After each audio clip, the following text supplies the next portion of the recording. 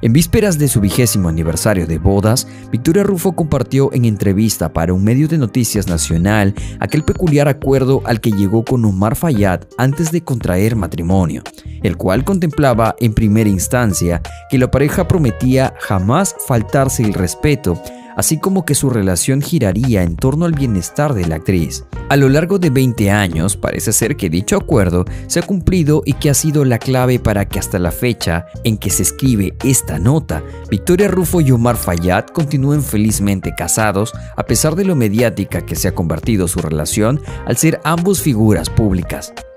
En esa misma ocasión, Victoria Rufo se dijo seguir totalmente enamorada de su esposo y aseguró admirarlo por el gran padre en el que se convirtió, así como su inalcanzable trabajo en la política mexicana. Estoy contenta. Se siente padre en el sentido de que nos llevamos bien, entendemos nuestras formas, defectos,